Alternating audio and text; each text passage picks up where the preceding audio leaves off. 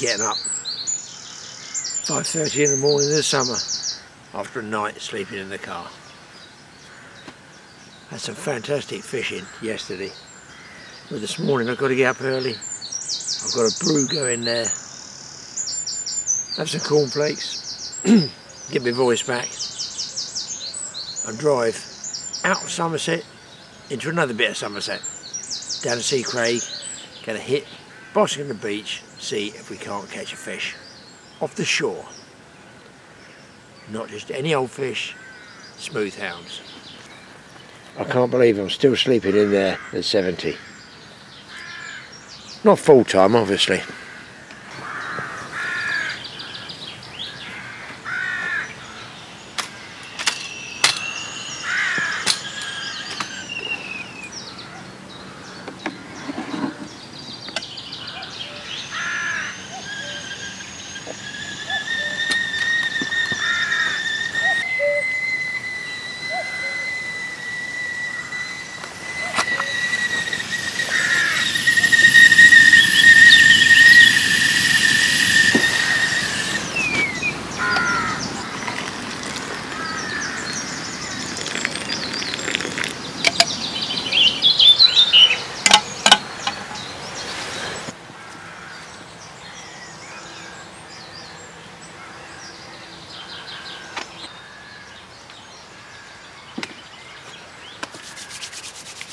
It's still cold even in the summer.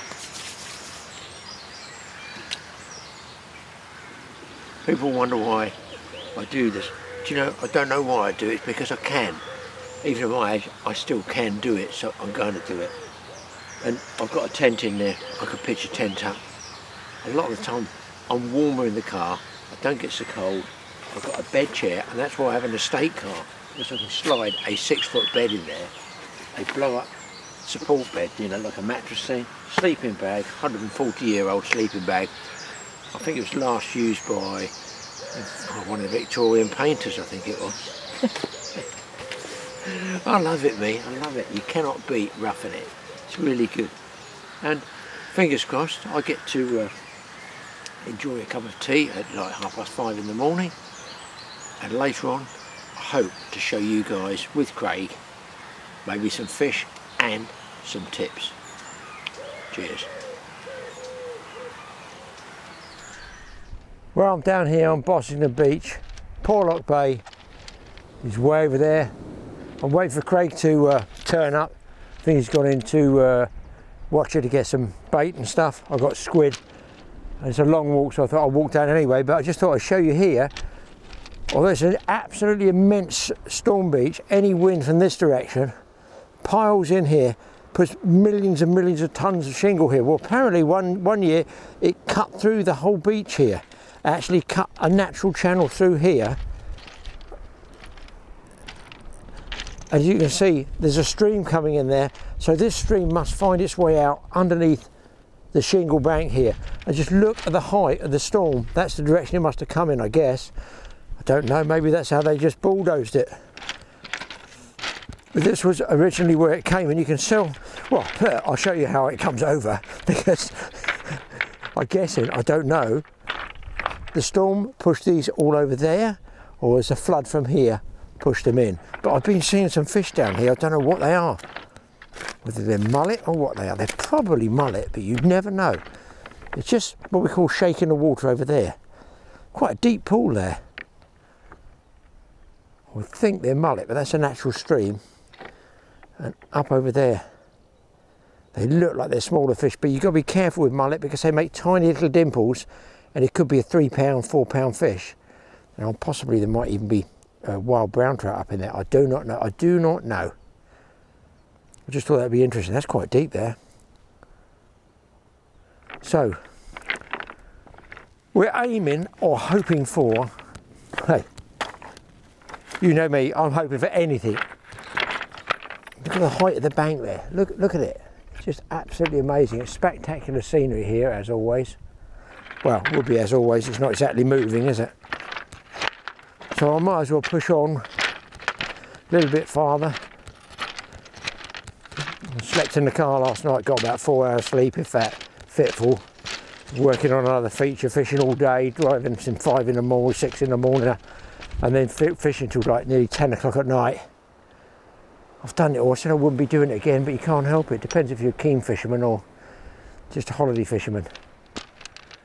Unfortunately, I've been a bit ke too keen for too long. I can't stop. I'm going to go down there by that piece of wood. There's, there's some marks Craig told me to look out for. It's really snaggy. You can lose loads of gear, so I expect to lose gear. Who knows? Let's get down there. Right, I've set up purely along here because I can sit on that. Somebody thoughtfully put it there.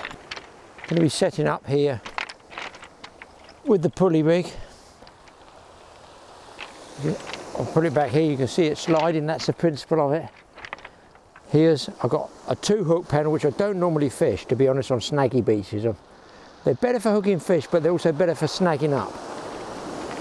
You put your hook bend into this little clip there, bait holder. You cast out, when it impacts with the sea surface, that comes off.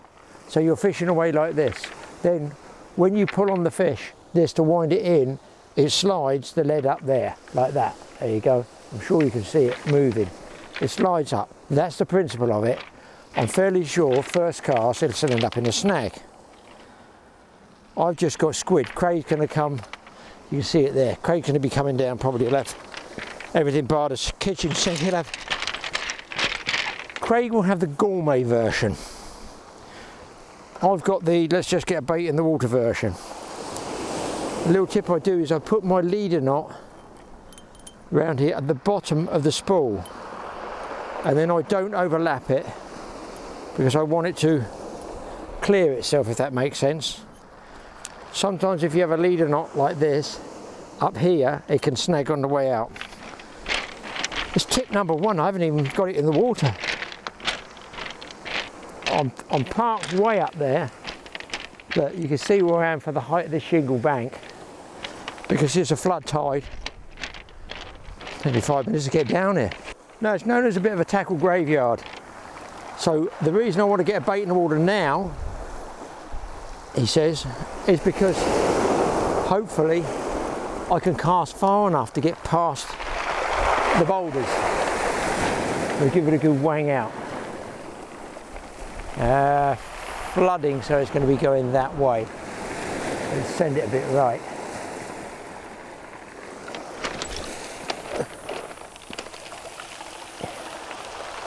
Well it's far enough at the moment for fish. I'll tell you another problem I've had. I've noticed once I've had I've noticed that um, as I walk miles back up this steep bank it gives you an idea of how steep it is fishing with braid. It's nice for casting. It's like 50 60 pound braid. But it seems to snag in the boulders a lot. And you pull out and as you pull out you break off. I've noticed this quite a bit. So my other rod which I normally fish with a standard braid straight through I am actually going to ah oh, somebody's been fishing here I guess. The crab. Oh let's get up there first I can feel that tide pulling already. What I'm going to do is put a mono lead on it. It seems more forgiving somehow.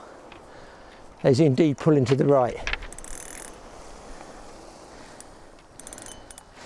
Make sure when you're fishing for smooth hounds you make sure there's some weight on your back end of the tripod in case you get a real bang over. You can see I've got quite a bit of tide cranking along there set up a bait in the water and we're going to get the dogfish trophy. It'd be nice to get something different like a ray but I'll settle for dogfish at this stage, I've walked a long way. Right, let's get a mono leader on this other one.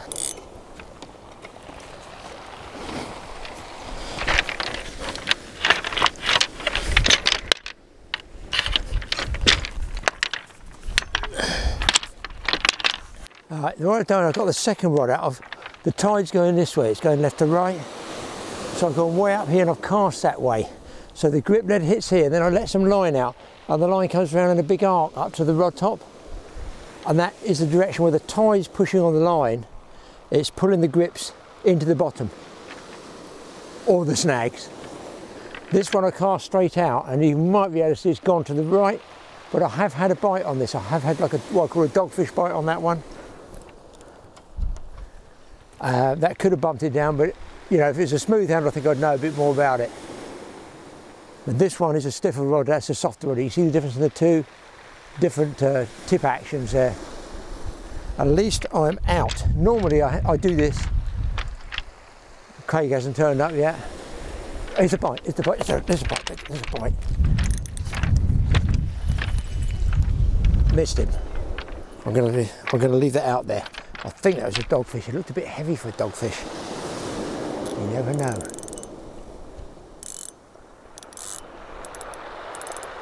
Normally I don't catch anything at all. Craig comes up, puts out really good bait, you know, combo bait, some peeler crab. He's got some spider peeler as well. And catches one straight away. I gets the first fish. And I've already been here half an hour catching nothing. So I fully expect him to turn up. The wind is blowing, you might be able to hear it in the mic, it's easterly so it's blowing behind me off. And this is a big bay here that curves around and I've got shelter from all these cliffs. They gave thunderstorms and rain for this afternoon. So I bought a big plastic bag for my cameras and I bought a brolly there. I'm happy to have that one bite as long as he's not pulled me in a snag. I dropped into the supermarket in Watchet uh, just to get some grub because obviously I've done an overnight in the car and I fished all day yesterday anyway. So I've, I'm out of food and I'm looking at the prices of things. You know, I think it's really expensive what it is. And you go to other countries, you know what they have? They have bread, just bread. I think, well, I want bulking out. That's all I want is bulking. So 40 pence this, or if this was in a sandwich, it would be about three pounds for a little bit of filling, you know? So I'm thinking survival, a dry keep batter, a bit chewy, but keep you alive.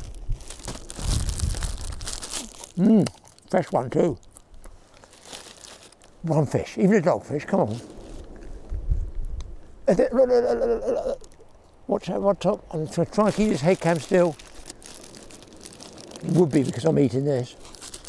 Still getting bites on this right hand one, guys, look. I dropped a little bit of slack back. I keep dead still, you might just be able to see it. Gotta be a dogfish.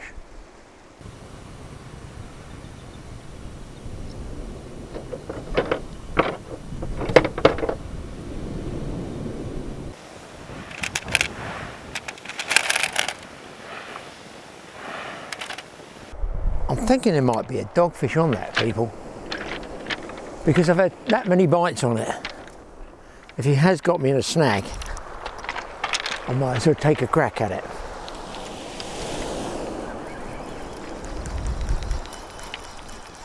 I'm going to crank like crazy to get it over the snags and the boulders. I don't want to get caught in anybody's line. That's why I'm staying high up on this beach to give me the highest elevation of lift I can. Come on, babe, in you come. Oh, it's all good exercise.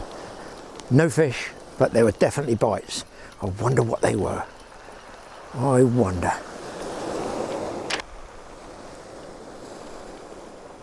It's been well chewed. It could have been crabs.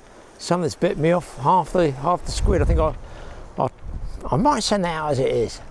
A little bit of fresh wrap on it. A little freshen up. I'm normally pretty bad for freshening baits up, but I notice that uh, the good anglers do it all the time. There was a fish, because look, I've missed something there.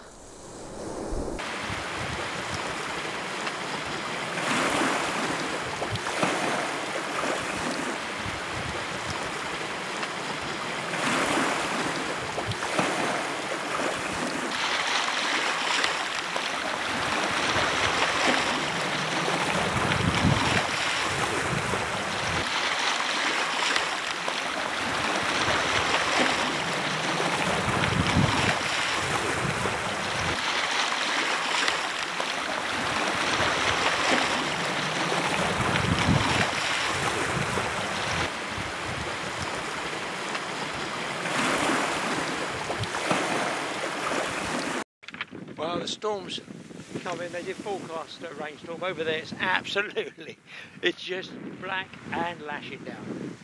I've built myself a camp here. Am I going to keep bone dry behind some sticks. I have got the umbrella, got a plastic bag for the cameras. In the dim and distant past, I can see figures coming along the beach.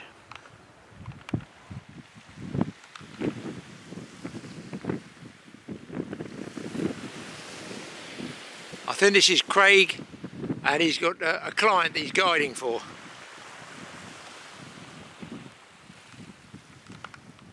There's a fair old walk coming up here. If I pull back with the camera you can see exactly the distance required.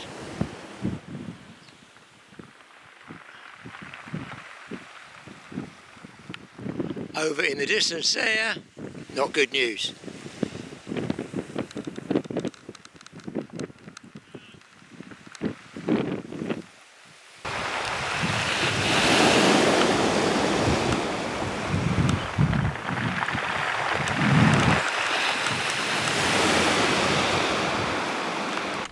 Well, the rain has actually stopped and the rods are motionless. It must be getting pretty near high water. But for those who don't know, Craig is uh, Craig Butler's a shore guide. Does shore guiding to anybody down holiday down here. If you want to go fishing, you need to know where to go, when to go, all that type of thing. Right state of tide, otherwise you're just wasting your time. And he's going to show us how to rig up um, one of his favourite baits, spider peeler, for shore fishing. As we always say, you can never have too many tips. Uh, one uh, very good bait, uh, which is very much overlooked uh, these days, is the, the spider peeler crab. Um, it, it is quite hard to get hold of, but with the glut of spider crabs around the UK coast, they got a molt at some stage. And if you're lucky enough to, to get a stash of, of the spider peelers, uh, definitely worth squirreling away as many as you can in the, in the freezer. They work all year round. They freeze well, do they, Craig? They do, fantastic. These have been in the freezer, believe it or not, for over two years and it's still good to go. Um, just slowly defrosting now. The, the, actual body is still still defrosting, so we're not going to um, smash it to bits and just ruin the bait. So we're going to let him slowly defrost. Uh, but what I've done is uh, peeled the legs out. Uh, this is a, a, hell of a bait. This is um, most people on, on, even peeler crabs chuck the chuck the crabs away, chuck, chuck the legs away. Absolutely such a waste of money. Um, you can get a real tidy good bait and it will catch loads of fish. Uh, this is basically a spider peeler crab. You could do this with uh, a normal shore peeler crab. Um, just get the leg, break up the sockets and just peel the shell away, relieving the, the fresh Now, I always have trouble getting that second bit. Show us how you do that, Craig. Yeah, it's just just get, Teasing it. yeah, just tease it out. Don't be too too too hard on it because it can snap. Just pull it away. And if the if the crab are frozen down at the right stage, uh, it just makes life easy. Um, and then just pull out around the knuckle area is a little bit trickier just pull it out and there you go you've got to be a bit gentle so you don't break it so then you end up with a leg you know here I've peeled out most of the legs already and uh, I'll show you how to to get a, a, nice sort of tidy little bait. Could you could you fish those single as well, Craig? Uh, you know, you, if you, you, if you offer harbour wall for you, you, wrasse and yeah small pollock and yeah, stuff you could like do that. absolutely yeah you could do. Um, I quite like to to sort of make a nice chunky bait. You know we're fishing for, for smooth hounds here, uh, so what I'm going to do is basically get the hook. I've got a pennel hook here. Um, you don't need a pennel hook, but I've just got it on the rig I'm using at the moment. What I do is get the get the crab for the for the open end here and just poke it in like you would a worm and slide it around the shank of the hook into that first section and leave it to dangle like that. Get the next leg, go in there like so. Like that. you coming out on a joint there, or yeah, just, just, on the on the first joint there. You can see if you can see the leg, you've got one, Yeah. two, three, four uh, joins there. So I'll just do the first section, and then and then what I do is when I've got two on there, I'll just take this loose end and just put that through there like that. Just poke it straight through like that and push it up. And then the next one, double back itself through there and push that up like so. And then he might be able to, if you see there, just nip him in there if he's a long leg and put it up there. And that, that's that's two legs so far. You can see that's starting to take a bit of shape there. chunking it up. Yeah. So next leg, just copy exactly the same. So two legs, then fold, push it up, and then again another two legs. In there. So in that first section, leave them dangling, and get the next leg, push him in there, and as you go there, push that one up, and then take the that next the first one you put on there, and push that through Sort of overlap it really. Yeah, you that's get it. It's just sort of threading it on, like, and then just push it around there. have to manipulate it a little bit around the hook here. Push it up, squish it up. It's quite they're quite firm, so you're not going to rip them too much. And then you can just do that, and then maybe like so, you know, and that's a it's quite a nice little bait there. You'd be happy with that with a piece Yeah. of piece of meat off the crab, wouldn't Exactly. you? So- so you yeah, that's like if- wasted. and even if you was to eat, you know, I don't know why people don't eat the spider crabs. See, that's not exactly a small. That's only a small spider crab, and that's four legs. And that's a good mouthful. That is. So even for human consumption, if you go down Chesil Beach or out on the south coast and you catch plagues of them, just take them home and eat them. Really good eating. But yeah, that's it. You know, um, maybe if you want to put a little bit of elastic on there, um, bit of fine bait elastic, just It's been threaded on quite a few yeah, times it's not. it, hook, it, sh- so it shouldn't come on. Shouldn't come off in the cast. But you know, I'm going to put a little bit of elastic here. On there, it's not much at all. That's hardly anything on there. Just pull them off. and that's it, good to go. Yeah, what would you do? You, so you wouldn't even need a second hook on that. Wouldn't need really? a second. hook, You know, that's that's. They've only got. They've only got like a 3.0 uh, Cox and Rawle uptide surf here. Um, that's good enough on its own. Um, but I've got, you know, I, I quite like to use a pennel rig, especially when I'm smooth hounding. Bottom hook to hold the bait on. See, there's not, you know, the the, the hook part is, is a bit masked there, um, but generally the top hook, just use it like that, just hooking through there. Pull that bit of shrink tubing down, like so. Keeps it nice and neat. Pull that down.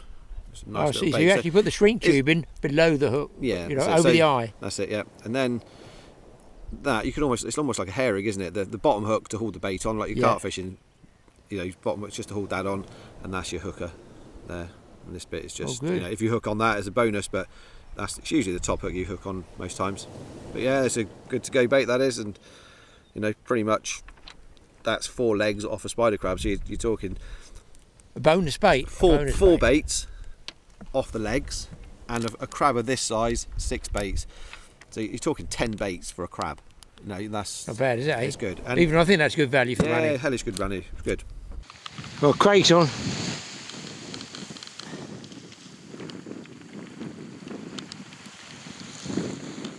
He's pretty adamant that they were bull huss that he lost and I lost early on.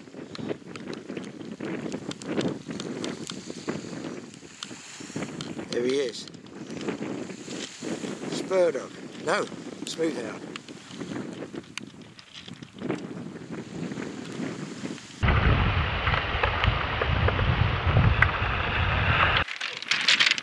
Triple beat it. And what was that on, Craig? Uh, it was on a, raw uh, prawn and a bit of Oh, squid. yeah. Combo bait. Yeah, You and your combo baits. yeah.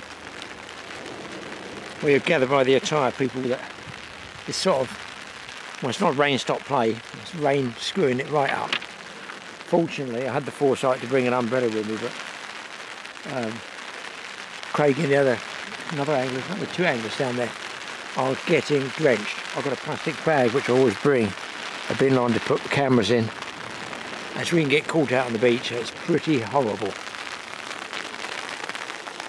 In fairness, it's what they fo- focused on today. They said it would be thunderstorms coming in, possible local heavy, heavy rain. Sea's lovely and flat. Bites have gone off a little bit. Lost two hounds now, two smooth which annoying. I lost a set of gear as well. And the umbrella looks like it's about to expire.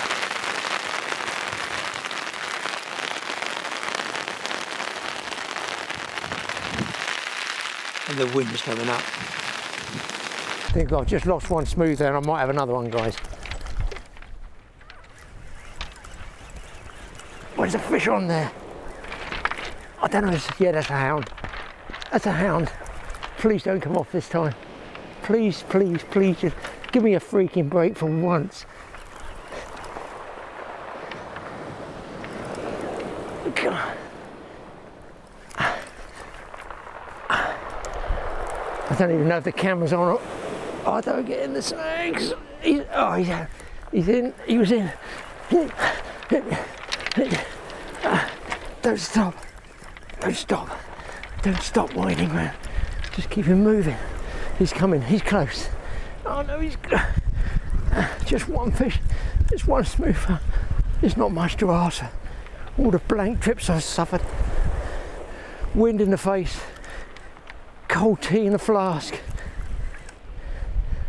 Oh yeah, that's a hound. Oh, it's kicking. It's kicking. He's there. Please, just come in on the wave.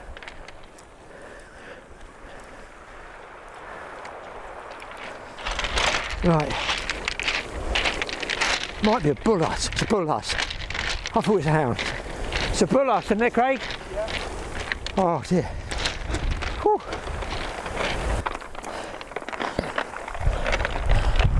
Yeah, you lost one just now, didn't you, Craig? Yeah, it's uh, Wow, look at that. Because it dropped the bait halfway in. Yours was the same, that's two in a row. Yeah. I'll tell you what, big fish off the shore though, aren't they? They're nice fish. Yeah. Not bad, are they? Oh yeah. Angry.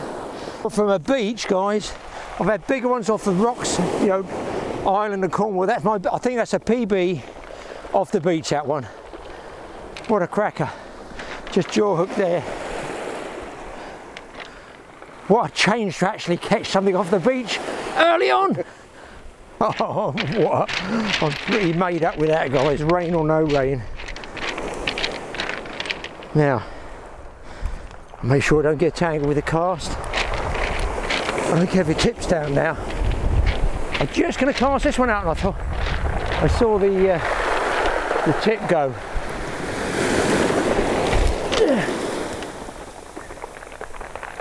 That's far enough I think. So you get pushed back up by the tide but they're, they're small neap tides so they're not too bad. The ground coverage, thank goodness for me, is uh, not too bad. Wow, well pleased with that. Big fish last night, sleeping in the car, put the time in. Well happy. Well knackered as well. Wouldn't think of my age. You still get excited over fish like that, but happy to say I do. On a hound.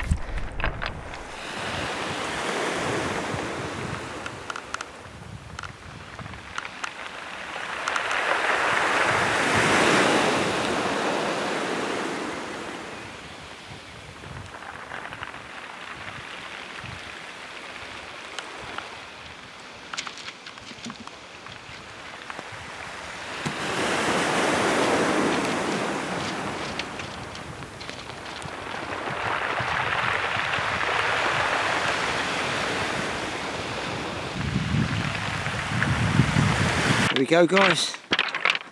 Here is another dogfish. And there is the bait he took. The squid's going a bit pink now. When it goes pink, it's not the well. I say it's not the greatest bait. Well, I say it's not the it's not the greatest bait, but um, when it's pink, it's starting to sort of go off, I guess. Let's get this guy back and uh, see if we can't get baits out again. I'm getting low on squid. Well, tide's turned, guys, and uh, I've got bites on both rods. See if I can get down for the doggy here, dogfish. I thought they might be small conger strap eels, but here he comes. It's a doggy. There we go. So maybe now that tide's moving, there could be uh, more fish on the move. Uh, just got a, a spider peeler bit of a spider bait here. Uh, it's about six of, of, of a piece of the, the main body. As you can see, it's, it's, it's quite a juicy bait. There's a lot of yellow goo in there, and it's, it's all the scent. We've got a, a little a leg here just to patch it up to stop all the scent dispersing on the impact with the when it hits the impact on the sea. Uh, I'm use, using a pulley rig here. Got a fairly fairly long one uh, today, and uh, I'm going to clip it down with a, a Gemini splashdown uh, clip. So these are quite nifty little contraptions. You uh, got when you pull it, you've got to, to set it, push it up in the up position, and then put your hook in there and pull this disc down. Locks it in place nicely. Uh, ideal for the off off the ground cast, um, and it, I've never ever seen it seen one, you know, a release in midair. So And what do they call those, Craig? uh, it's Gemini splashdown. Is that Uh, a relatively new one? They've been around a few years now. Yeah. Um, they're about two two fifty for a pack of five. So they're fairly expensive to be fair. You don't really want to be using them in snaggy areas where you're going to Yeah. where you're going to lose plenty of them. So, but yeah, they're, they're really good. And uh, when it hits the hits the sea, hits the surface of the sea, that little disc comes up like so and releases the Oh, bait yeah. like so. So Swings free. quite nifty, really. To be fair, I don't use them that often, but now and again. Who are these Uh, people that sit there with nothing to do making these ideas out. Know, Other it's incre- fishermen. It's incredible, isn't it? Yeah. I wish I wish I could think of something nifty like that and make a few pennies out of it. So Yeah, absolutely. One day, you never know. Might have a brainwave in the middle of the night. Not when we're fishing. We don't have much brainwave fishing. It's getting the baits in the waters is what it's all about. Yeah, right. Let's get this bait out there and see if we can, we can get one. This, the chap just next to us has just uh, You had a hound, didn't he? just had a smooth hound, so hopefully they're going to start. You know, tide's on the ebb now, so hopefully we'll get one or two come in.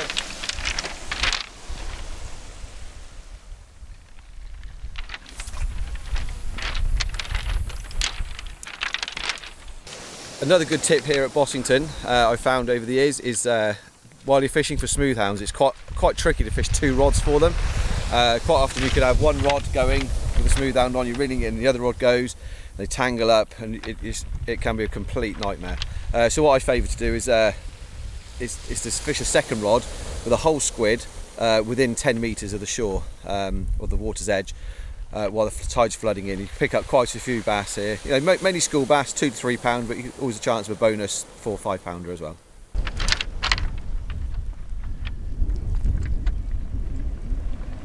What's that orange line? I haven't seen you with that before. Is that a newest one? What's it called? High Seas. I got it from Cox and Rawle. Uh, I think there's only I think there's only one retailer, Gerry's of Morecambe, selling it. I think, um, which is quite surprising. It's a fantastic line, but it's it's twenty pound. No, it's fifteen pound, but it's 0.40. And that's fine, is it? Yeah. Still there. I think I chanced it. Squid on your scale? Yeah, no, I missed him that time. Oh, he might be there. He's a dog here. Um, is uh, there sand out there at all off this beach? Uh, I've never seen it. If there is, So we, our baits are on this stuff, small, small Sorry? boulders. Our baits even 100 yards out of. yeah, it could be on like goes. Sort of, I've never seen it right out because it just. Go, I've seen it on the big tide at low water, and it's just more of this. But it flattens off, and I'm sure it just gradually goes away. And there's these boulders which are covered in like red wispy weed and Oh, really? Yeah. must be patches of patches of sand, must be patches of I don't understand why it doesn't get covered in silt out there. Do you know what I mean? The boulders. I think it's a tide it's such a strong tide that I think it there must be patches of clean sand and there's a lot of sand around the corner. Yes, another dog. Another dogfish. Well, it's uh, it's got pretty quiet, more dogfish. So uh, we're going to have a winding crazy. We're going to go to a place way over there in the distance, Porlock Bay, and that's a low tide mark. So we're going to see if we can pick a fish up there. It's gone very, very quiet here. Right, load up and ship out. Okay, we're on a bigger boulder strewn beach, Porlock where it's called. If I turn it around slowly, beautiful. There's like oak tree covered hillsides there. Big, big boulders, much bigger boulders here. So sort of different type of tidal situation here. And we were, however, you probably won't be able to hear it now. We were way. This is the trouble with big boulders. You can easily go over and do an ankle. We were just from the headland, about half a mile in from there. So you can see it's a great big cut-in bay here. Uh, previously fished up here high water. I think it's dogfish, it might just be dogfish now. In fact, dogfish would be nice, be something. At least we know there's fish out there. And this is falling, so the tide over there, we fished a little bit of, you know, flood tide coming up, and then the rest of it was falling. And now we come right round the bay this side to fish this at the bottom of the tide here. Gonna give it a couple of hours, nothing longer. I was just fishing squid out there, the same squid I wound in to be honest, because it's fairly fresh. Clay's down here, and uh, well, what can I say? If we get another fish, it just sort of round the trip off.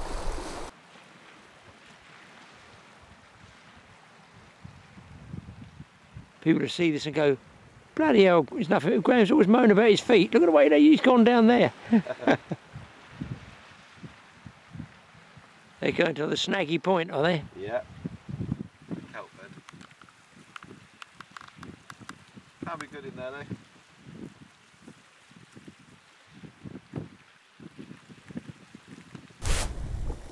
a bite on this one up here, guys. There he is. Watch, watch, watch. Keep dead still. There's the. You might be able to see the bite. This is going to be. We're down to the last minute or so. I think it might be a dogfish. I'm going to take a gamble. It's either a snag or a dogfish. Oh Christ! I'm falling over now. I'm so tired.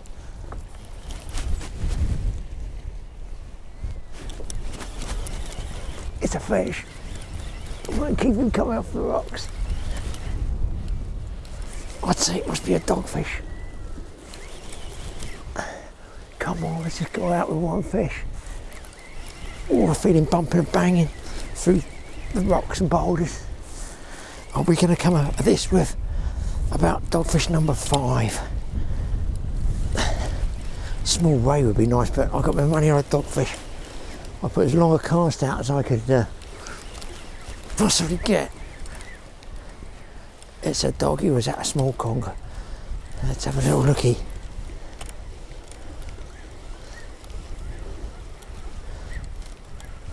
What is that?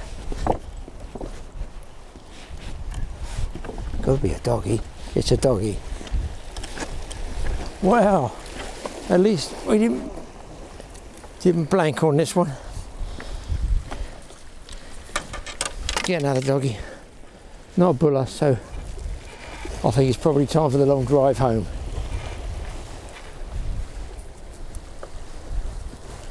Hopefully one hook. There's one. Of course I put the, the pliers back. Oh, that red, red weed on it as well, isn't it? Yeah, that filamentous stuff. Yeah. There was lots of shrimps and prawns. Oh, he's got a weird mark there, look at that. Quite like a skin graft, isn't it? Isn't that? Yeah, yeah, he's just dribbled all the way up my sleeve. Oh, let's get him back. Well, one last cast, folks. This is a, probably a, a snap off.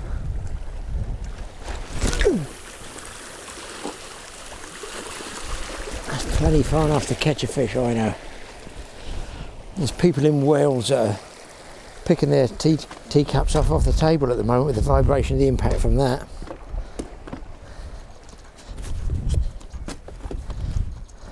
So, 10 minute warning, people. My feet are giving it a 10 minute warning.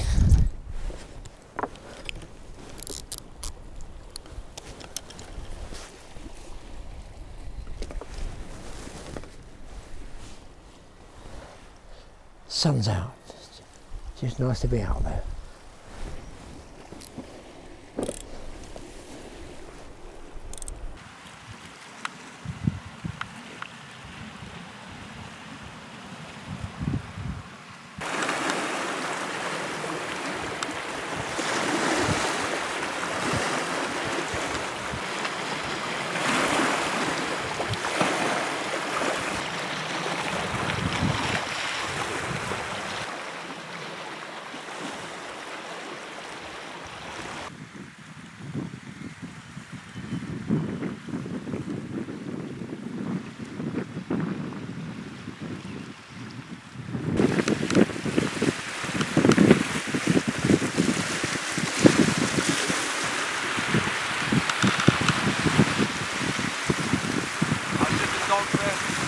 Doggy.